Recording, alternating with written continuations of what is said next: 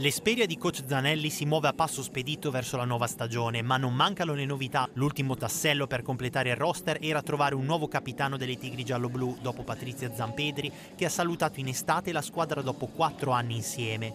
Al suo posto Jasmine Rossini, al secondo anno in maglia Esperia. Non a caso la nativa di Bollate è stata la prima conferma di questa stagione. No, in realtà non me lo aspettavo e quindi sono comunque contenta del, della nomina. È la prima la primissima volta eh, e mm, posso dire solo come avevo già dichiarato che spero di, mm, di, riuscire a dare un apporto come ho sempre cercato di fare anche ovviamente all'esterno del campo. E mm, no, non, non, ci sono rimasta, ecco, ci sono rimasta e, e, comunque ringrazio la società per questa, eh, per questa nomina. E, spero di essere all'altezza.